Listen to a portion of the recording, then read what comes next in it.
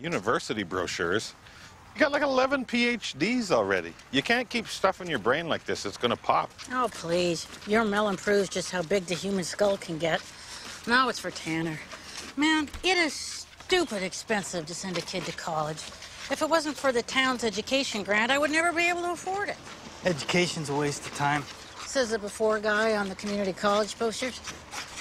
Look, entrepreneurs don't need no fancy degree. They make it on their wits. Did you know that most millionaires barely even finished high school? And that's the one thing you have in common with them.